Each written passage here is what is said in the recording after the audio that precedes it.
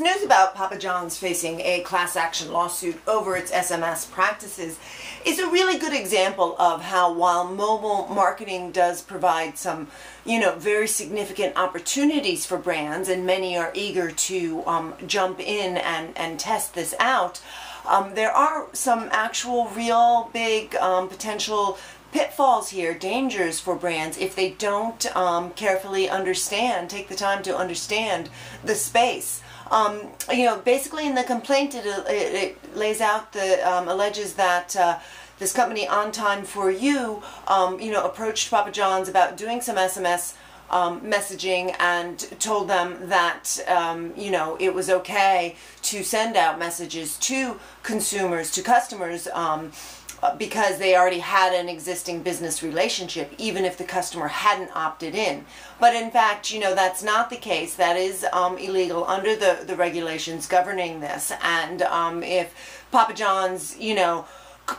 faces potentially up to $250 million in damages um, in this suit, showing that this is, you know, a, um, a, a, very real and um, potentially costly mistake for marketers